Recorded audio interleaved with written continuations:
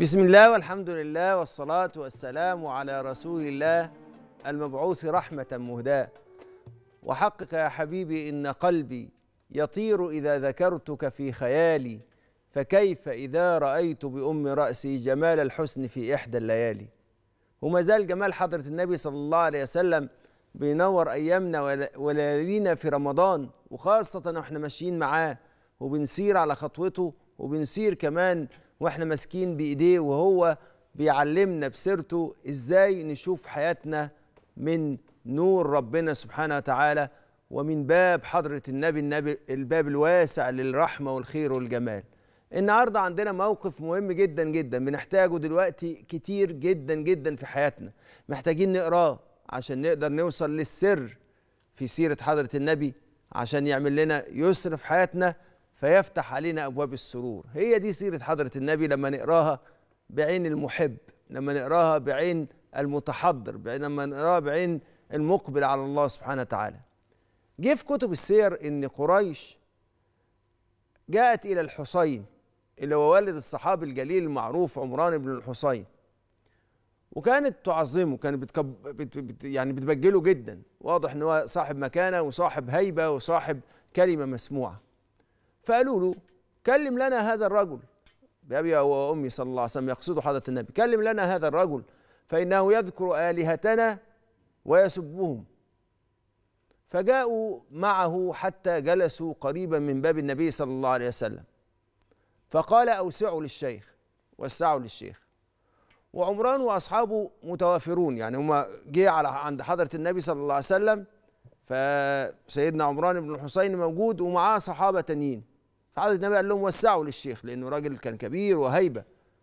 فقال حسين ما, هل ما هذا الذي بلغني عنك؟ إيه اللي بلغني عنك ده؟ إنك تشتم آلهتنا وتذكرهم. فقال له حضرة النبي يا حسين كم تعبد من آله من إله؟ أنت بتعبد كم إله؟ قال سبعا في الأرض وواحدا في السماء. قال حضرة النبي بيقول له فإذا أصابك الضر من تدعو؟ قال الذي في السماء هو ده محتاج كلام؟ أكيد الذي في السماء. قال فإذا هلك المال من تدعو؟ يعني المال إذا هلك وخلاص حسيت إن أنت بتضيع من تدعو؟ قال الذي في السماء. قال فيستجيب لك وحده وتشركهم معه هو بيستجيب لك وهو وتشركهم معه اللي هو السبعة يعني. أرضيته في الشكر أم تخاف أن يغلب عليك؟ لا لا. فهو قال له إيه؟ قال لا واحدة من هاتين. لا ده ولا ده.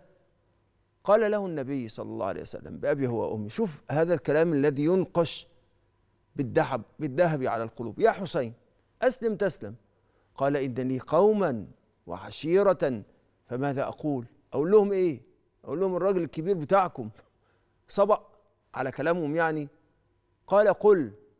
شوف حضرة النبي هو بيقول له إيه؟ أقول لهم إيه؟ فشوف حضرة النبي بيقول له بيقول له إيه؟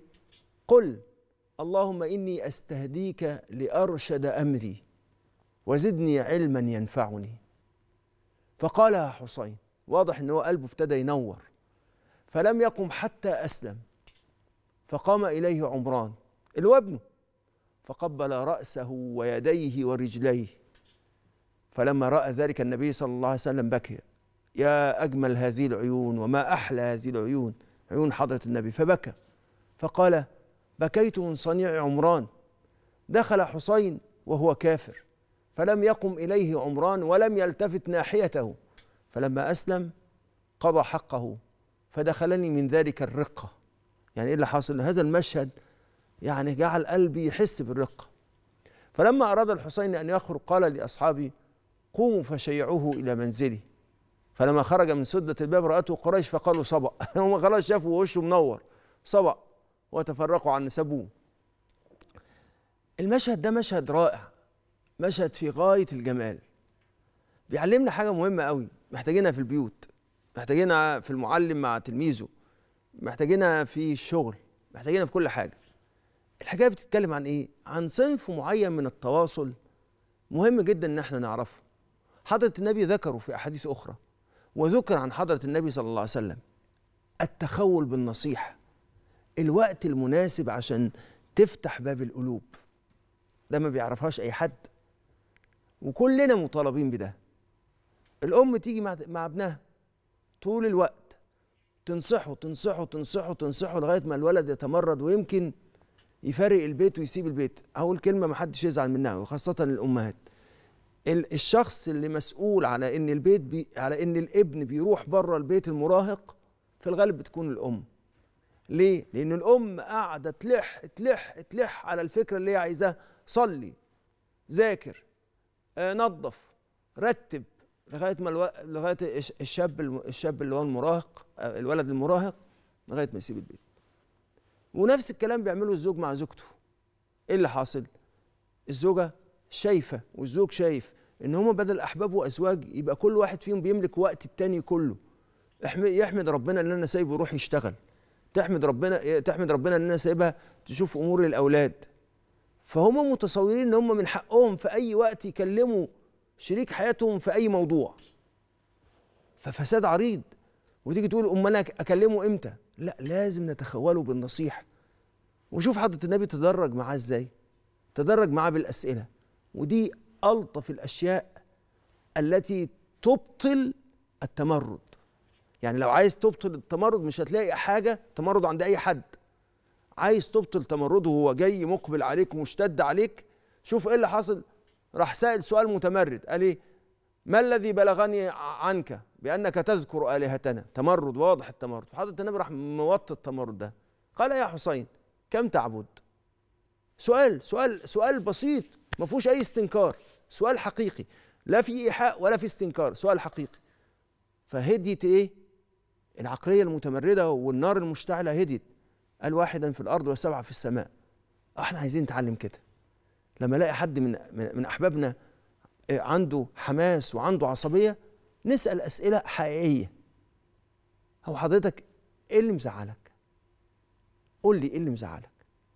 فيقول مش إن أنا هو أنت إيه اللي مزعلك؟ لا نسأل سؤال حقيقي. هو أنت إيه؟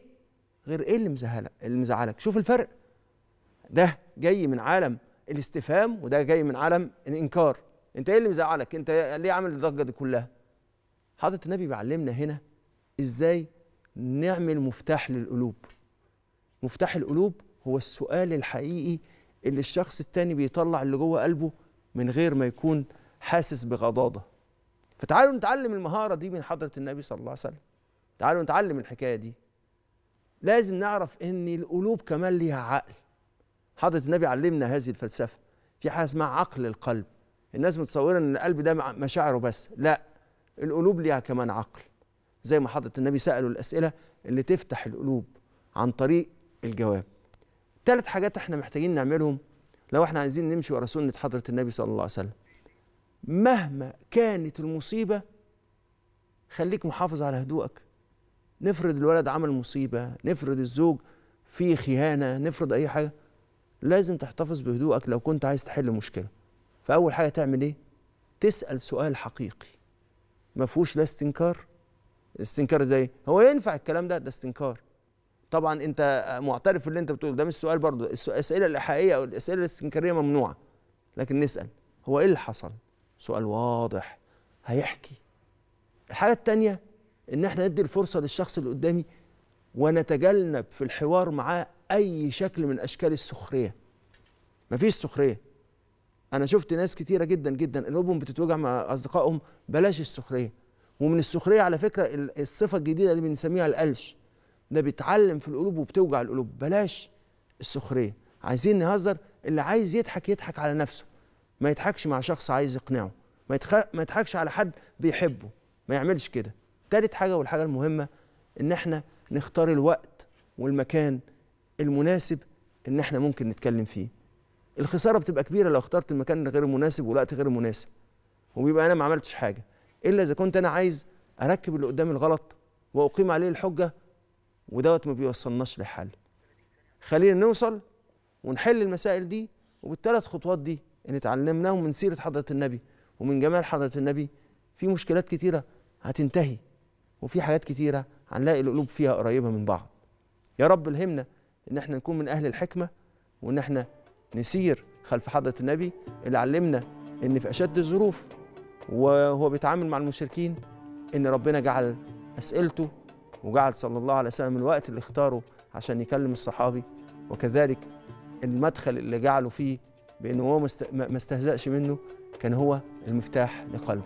يا رب الهمنا رشدنا دايما عشان نفضل مع حضرة النبي ويفرح بأننا سرنا في سيرته عندما يسر علينا أمرنا وكان سببا لسرورنا وسعادتنا عندما ألقينا من على من على كاهلنا مشكلات كثيرة بالكلمة الحلوة.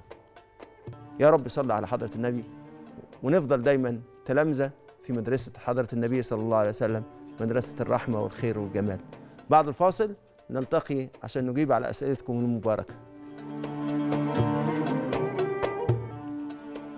رجعنا لحضراتكم ومعانا صفحتنا على الفيسبوك صفحة برنامج ولا تعسروا اللي إحنا بنتلقى عليها أسئلتكم وكمان تفاعلاتكم مع برنامجنا وتعليقاتكم اللي بتفيد وبتنورنا وبتبارك كل جهودنا في البرنامج ده معانا أول سؤال الأستاذ عمر من الجيزة السلام عليكم وعليكم السلام ورحمة الله وبركاته آه. يا شيخ الله يعزك ويبارك لي فيك يا سيد عمر؟ بس لو حضرتك تتكرم عليا طيب. وتوطي التلفزيون وتسمعني. من التليفون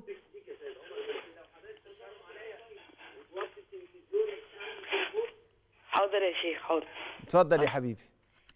بقول لك أنا عايز أنا مش بصلي مش بنتظم بالصلاه أنا عايز أنتظم بالصلاه وربنا يحبني وأرجع لربنا وكده. طيب أنا هجاوب على حضرتك. في سؤال تاني يا سيد عمر؟ أه في سؤال تاني. قول لي يا سيدي.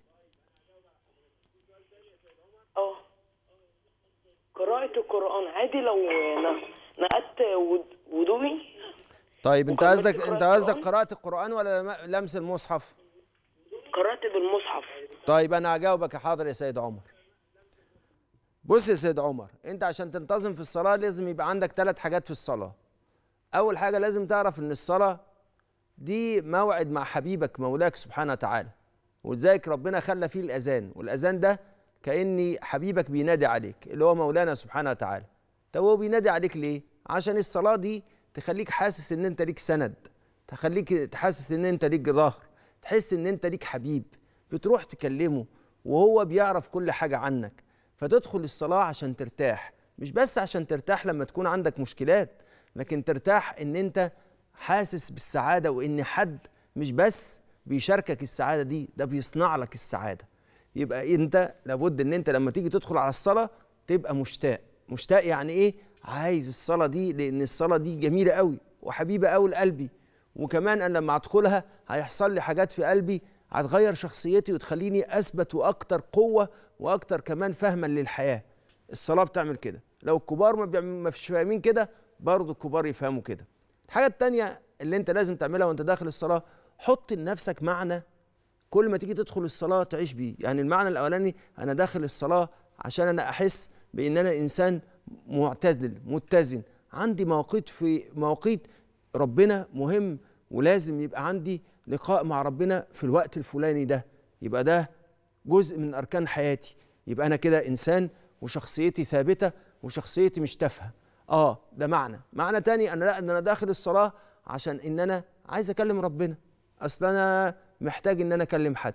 محتاج إن أنا أشكيله بس مش أشكيله لأن أنا متضايق لكن أشكيله عشان أحس إن في حد بيسمعني.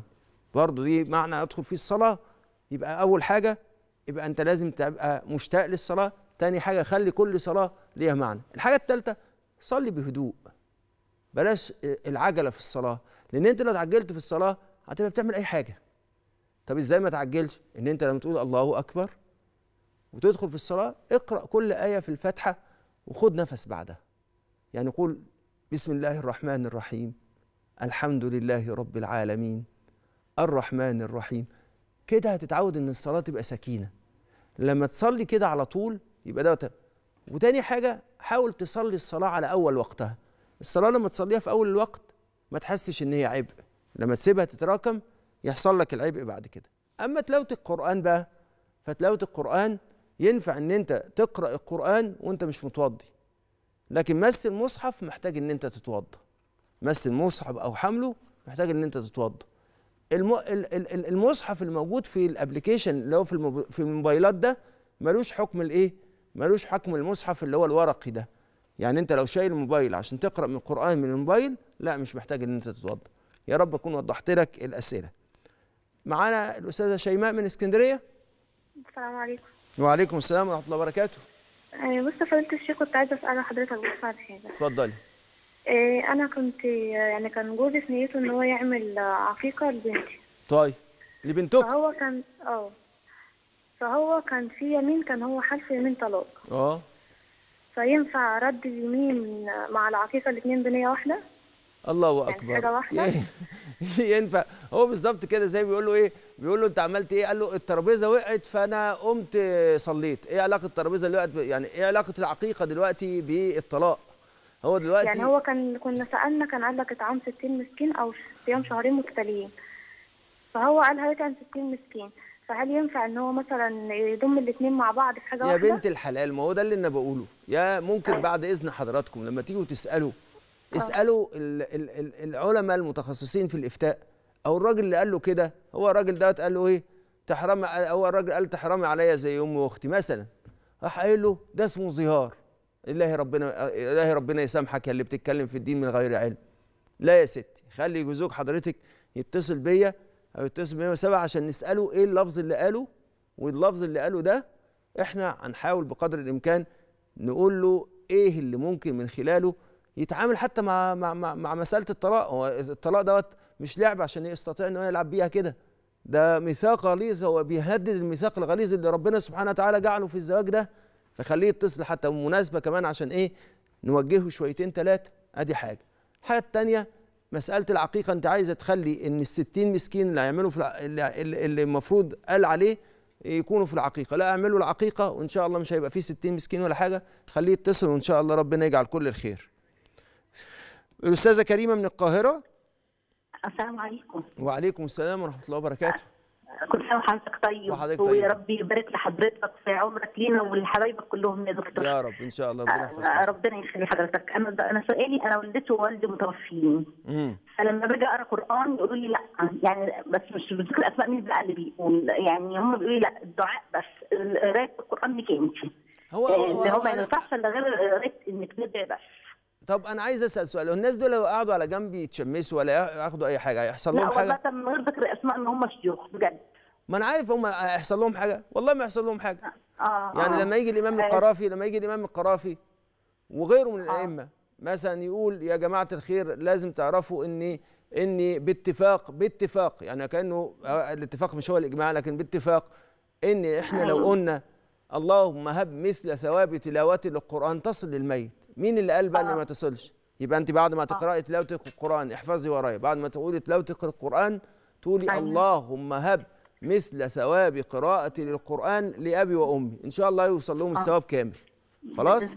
تقولي اللهم. هب. مثل ثواب قراءة القرآن لمين؟ لأبي وأمي آه. ليه طيب؟ لأن دوت اسمه دعاء بظاهر الغيب والدعاء بظاهر الغيب مستجاب فخلاص هيوصل لهم الثواب خلاص؟ واعملي ده آه، كله في كل الأعمال الصالحة. كل الأعمال الصالحة اعملي فيها الكلام ده.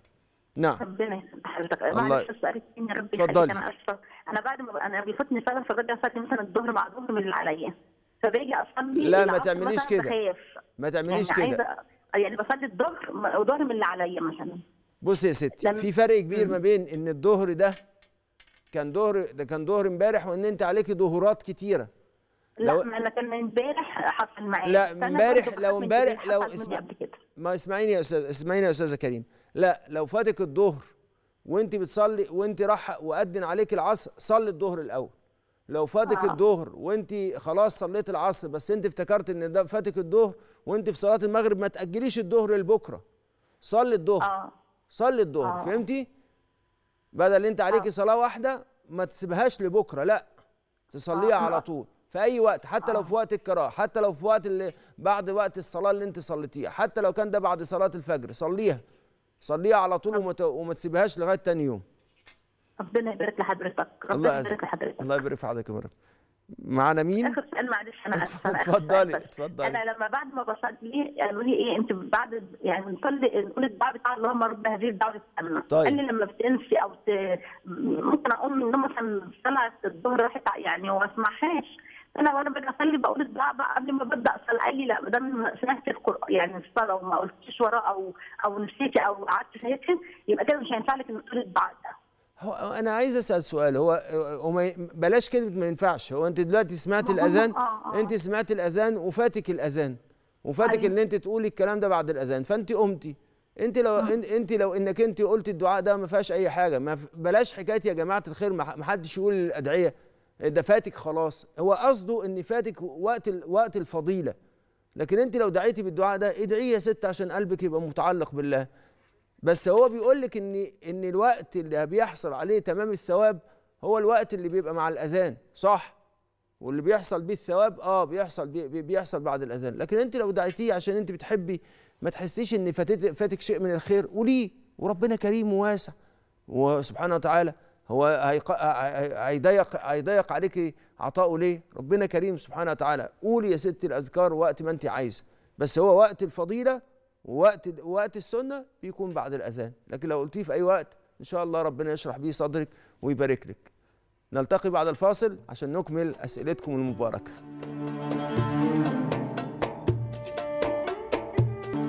رجعنا لحضراتكم ومعانا الأستاذة ماجدة. عليكم. وعليكم السلام ورحمة الله وبركاته. كل سنه وحضرتك طيب؟ وحضرتك طيبة؟ بص حضرتك أنا معايا مبلغ يعني مبلغ كبير بس آه، يعني ما خ- ما شلتوش مع بعضيه كله. كل فترة أشيل حبة أشيل حبة عشان يعني أعمل مشروع يفيدني يعني. طيب. ففي الآخر خالص يعني ب- الكمل دلوقتي الكمل اللي هو إن ممكن أطلع عليه الزكاة. طيب. فأنا هطلع من عليه إمتى وأنا- بقى من إمتى كمل يا دوبك يعني آه، آه، من شهرين كده. خلاص لسه ما عليكيش زكاة. لما يبقى يكمل سنة من ساعة ما كمل النصاب من ساعة ما كمل النصاب لما يكمل سنة يبقى عليكي كله زكاة. على بعضيه. آه يبقى عليكي زكاة. معايا معايا سؤال تاني لحضرتك أنا اتفضلي. اتفضلي. بص حضرتك بس نصيحتي ليكي ما تسيبيش الفلوس يا يا ما تسيبيش الفلوس كده استثمريها عشان ما, ما ياكلهاش الصدقة. وحطيها في لو ما بتعرفيش تستثمري حطيها في مكان أمين عشان بس إيه الله. ما تضيعيش فلوسك. قولي. بإذن الله. في آية من القرآن ب- بتقول لي يعني لو أنا هقول غلط ولا حاجة حضرتك صلح لي اتفضلي. آه إن السمع والبصر والفؤاد كل- السمع والبصر والفؤاد آه، كل كان أولئك- عنه مسؤولا. آه حضرتك يعني أنا عايزه أعرف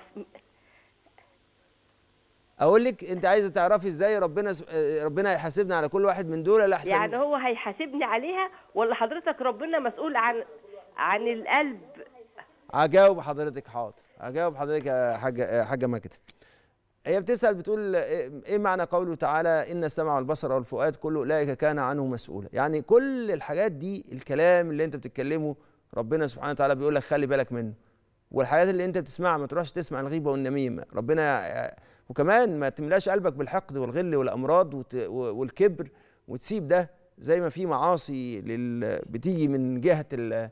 من. ال... اللسان ومن جهة الودان كمان في معاصي بتيجي من جهة القلب زي الحقد والحسد والحاجات دي كلها لازم نتوقف عنها لأن الحاجات دي بتاكل القلب والحاجات دي بتخلي القلب عليه غشاوة فلا يرى نور الله ولا مدد الله سبحانه وتعالى.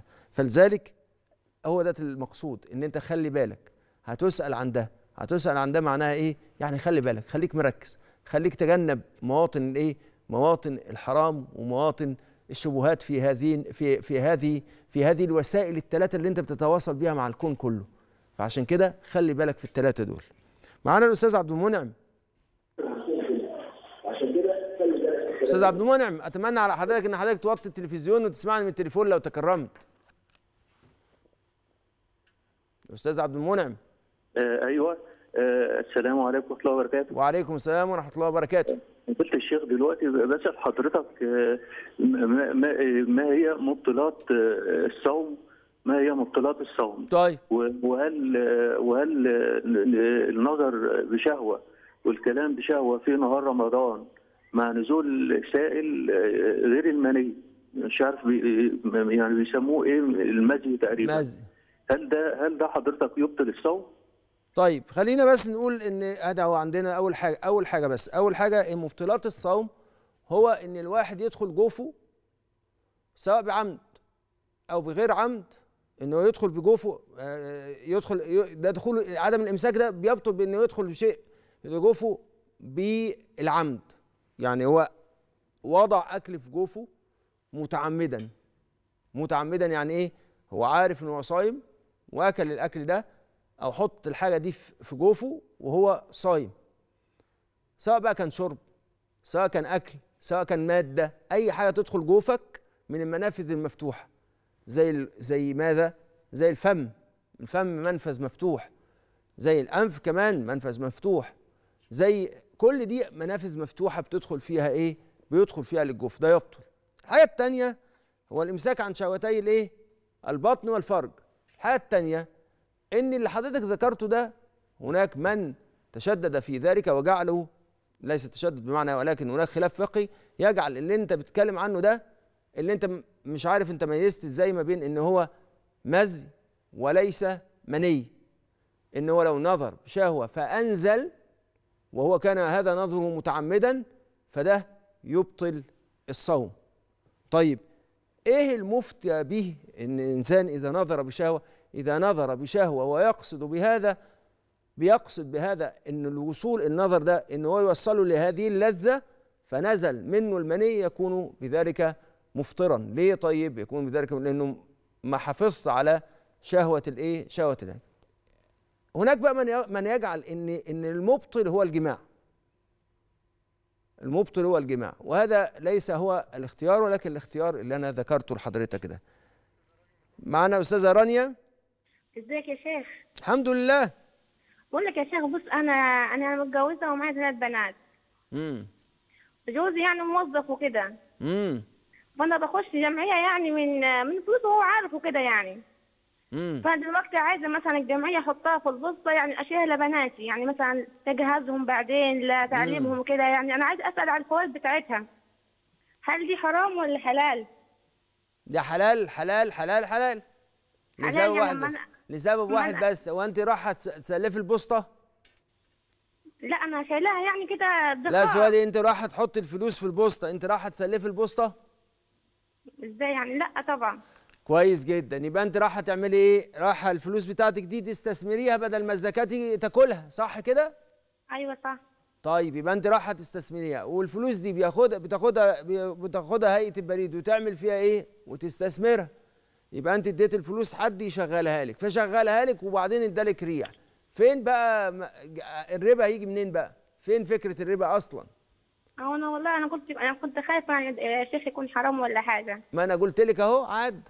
ما أنا قلت طب لك أهو. خلاص؟ طب ماشي. شوف معلش ممكن سؤال تاني؟ اتفضلي. بص يا شيخ أنا أنا يعني معايا امي وعايشه وأبويا وكده. طيب. يعني حالتهم كويسة الماديه مرتاحة. طيب. بس ممكن يعني مثلا يعني في حاجات أولويات بيعوزوها يعني ممكن مثلا أنا أتصدق عليهم وكده؟ آه قصدك من الزكاه ولا من الصداقه عليهم تصدق عادي يعني مثلا الصدقه عادية مثلا ده ربنا هيكرمك وهيوسع عليك وتاخدي ثوابين. تصدقي عليهم زي ما أنت عايزة وربنا يفتح عليك ويبارك لك في مالك. فلا بد إن أنت تعرفي إن ده ليه ثوابين ثواب الإيه؟ الصدقة وثواب القرابة. وإن شاء الله ربنا يبارك لك ويحفظك ويجعل ده كله في خيرك. في في في ميزان حسناتك ويوسع خيرك ويوسع رزقك إن شاء الله. يا سادة إحنا كنا النهارده مع حضرة النبي وعلمنا مهارات وعلمنا أنوار عجيبة في مسألة التواصل ومسألة المحبة ومسألة إزاي الواحد يحافظ على علاقاته إزاي الواحد يدخل لقلوب الناس. لأن دخول لقلوب الناس ده بيكون بالنور. والله سبحانه وتعالى إذا وفق واحد وكان منور يدخل لقلوب الناس على طول. حضرة النبي صلى الله عليه وسلم علمنا مفتاح من مفاتيح القلوب. فيا رب إن إحنا نسير على على خطى حضرة النبي ومش بس نسير على خطى حضرة النبي ونكون في إيديه ونبص بنفس نظرات عينيه عشان نشوف حياتنا وهي منورة. وعشان نعمل كده لازم ندعي ربنا. وفي دعاء مجرب عشان الله سبحانه وتعالى يوسع عليك ويجبر بخاطرك وينور بصيرتك. تعالوا نقول الدعاء ده.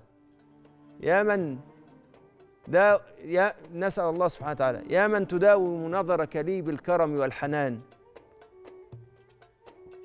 وهذا النظر أطمعني في أن تجبر خاطري وتكتب اسمي في هذه الليلة في ديوان العتقاء من النيران. وأول نار تعتقني منها التي أشعلتها نفسي بالوجع والمخاوف والكآبة والقلق. فاطفئها ببرد أنسك وحنانك ومددك. وتمم علي نعمتك بأن تسقيني من كأس الفائزين بخالص محبتك التي بها تذوب القلوب عندما تذوق شهد ودادك المصفى فتستنير بصيرتي بوجهك الكريم يا أيها الساقي. فنسأل الله سبحانه وتعالى أن هو يجعلنا من أهل المحبة ومن أهل المعرفة ونكون مع حضرة النبي ونقول لحضرة النبي وحقق يا حبيبي إن قلبي يطير إذا ذكرتك في خيالي فكيف إذا رأيت بأم رأسي جمال الحسن في إحدى الليالي؟ يا رب اجعلنا في النور والبركة ونور قلوبنا واجعلنا في الصالحين. يا رب العالمين يا أكرم الأكرمين يا أرحم الراحمين.